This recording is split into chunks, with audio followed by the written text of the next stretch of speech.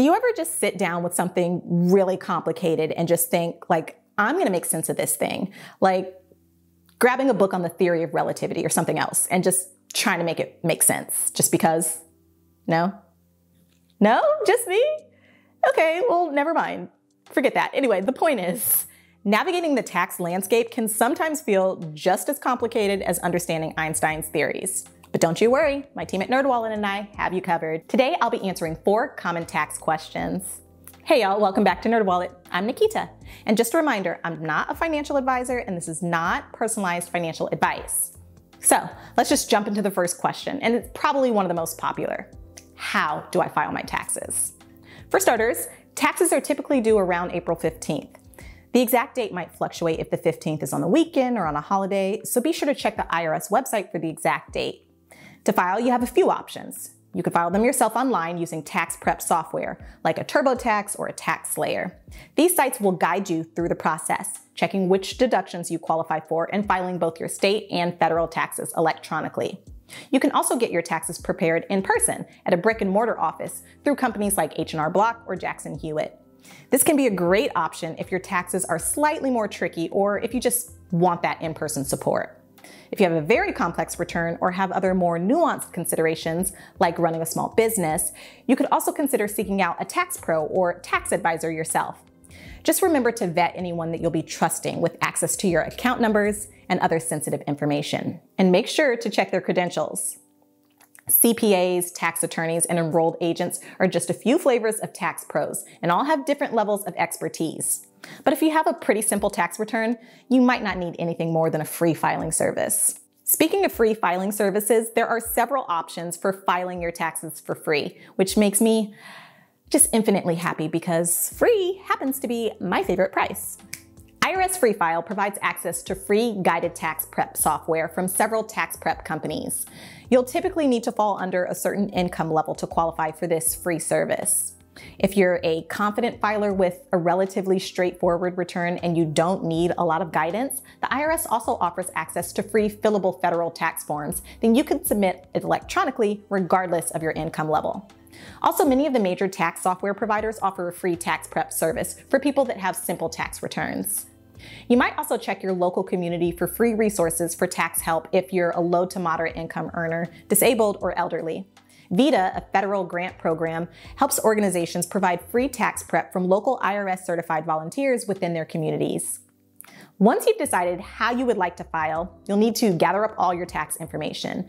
This would be your W-2s or 1099s, last year's returns, retirement account contributions, charitable donations, any taxes you paid, and any other proof of income or expenses that may have been tax deductible. If you owe money to the IRS after filing, you have plenty of options to settle the bill. You can send an electronic payment, wire transfer, pay with checks or a card, even cash payments are an option. If you're getting a refund, yay. Filing electronically and requesting direct deposit can help you get your refund as quickly as possible. With this option, your return could be processed in about three weeks. You can track the status of your federal refund on the IRS website. Okay, a second popular tax question is how can I save money on my taxes? A common thread that links us all is that absolutely none of us wants to pay more in taxes than we have to. Everyone wants to save, and there are actually several ways you can end up with a lower tax bill. Tax deductions and tax credits are both great ways to save a bit. Tax deductions will lower your taxable income, and a tax credit will provide a reduction on your tax bill. There are many credits and deductions that you can explore from education credits to homeowner deductions. Your CPA or tax filing software can review some of these options. Another way to save is to increase retirement account contributions to reduce taxable income. Traditional IRA and 401k contributions are typically made with pre-tax dollars, so adding to one can result in tax savings by reducing taxable income. Contributing to a health savings account or HSA can also provide some tax advantages in a few ways. Payroll HSA deductions are pre-tax dollars. The growth on the accounts are tax-free, and qualified medical expenses are also not taxed. This can be a great option to keep in mind if you're on a high deductible health plan through your employer. And remember, file your taxes on time. If you don't file your federal taxes or file for an extension and pay your estimated tax by the tax filing deadline, you could face some pretty substantial fines. And since we're talking about saving money on taxes, let's answer the third question. Tax credits or deductions, itemizing or standard deduction. Which should I choose? I'm gonna give you the very short answer here first. Go with ever which one will save you the most money. Like I mentioned before, you can check into both options on your own using the tax prep software, or you can have your CPA check for you. When deciding to take the standard deductions or itemize, keep that thought in mind. When you claim the standard deduction, you're able to reduce your taxable income by a set amount of money. And when you claim itemized deductions, you lower your income from a list of expenses that the IRS has pre approved. If your deductible expenses were more than the value of the standard deduction, itemizing could be a useful way to maximize your tax benefits. As far as tax credits or deductions, all things equal, credits are generally considered preferable to tax deductions. Credits directly reduce the amount of tax you owe, dollar for dollar, and deductions lower the amount of income that could be taxed on. So let's say, for example, there was the option to take a $1,000 tax credit or a $1,000 tax deduction. If you earned $50,000, your tax bill would not decrease by $1,000 with a tax deduction. Instead, your taxable income would now be $49,000. So that $1,000 deduction would lower your taxable income by the percentage of your highest income bracket, whereas the tax credit would directly shave off $1,000 from any taxes you might owe. Ultimately, if you're eligible for both a credit and a deduction for the same expense, do some number crunching to see which will give you the best financial outcome. All right, last up, question number four. What happens if I don't file my taxes? To answer this question, let's first clarify if you're legally required to file taxes, because not everyone is. In general, if your income is below a certain level, you might not have to file a tax return with the IRS. There are several stipulations, like self employment earnings, and general income limits can fluctuate a bit from year to year. The IRS website can help clarify if your specific financial situation requires you to file a return. But just because you don't to file a return doesn't mean that you shouldn't file a return. You might qualify for a tax break that could generate a refund, so it may be worth looking into filing to see what you could qualify for.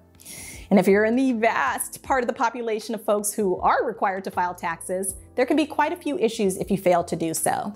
For starters, failing to file your taxes on time will result in the IRS levying a failure to file penalty. This penalty is 5% of the unpaid taxes for each month or part of a month that a tax return is late, up to 25% of your unpaid taxes. And keep in mind that whether you file or not, if you owe the government money, they'll expect to be paid on time. You'll be charged penalties after the tax filing deadline if you haven't paid. If you don't owe taxes to the government or if you're owed a tax refund, there's no penalty that occurs for not filing your taxes, but you won't receive your tax refund until you do file. I just want to add that if you haven't filed taxes in a few years, I know that that can be scary and overwhelming just to think about how to catch up, but know that there are things you can do to relieve the stress. The IRS website can send you transcripts that detail how much it is believed that you owe. Ask your employers for past documents so that you can go ahead and file the taxes. It's possible that you learn upon filing that you're actually owed a refund.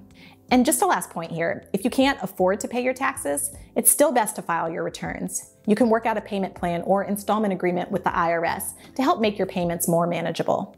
Yes, there will still be some interest added to the amount, but you'll be on the way to getting straight with the IRS and may be able to reduce future penalties. There we have it answers to four common tax questions. But just like Einstein didn't figure out the universe in 10 minutes, we're probably not going to figure out the complexity of tax navigation that quickly either. If you have more questions, want to clarify some of the points I touched on, or you just feel inspired to spiral down a rabbit hole of the IRS and tax world, pop over to our tax dashboard at nerdwallet.com. There's a ton of free resources there for you to do more research on deductions, tax brackets, or find answers to other questions. Now, my question to you how are we celebrating once tax season is over? Expecting a big refund this year? Yay, have fun. But make sure to take care of your future self too by paying down some debts, saving for a big life purchase down the road, or putting some into an investment account. Not as immediately fun as shopping sprees, but your future self will thank you.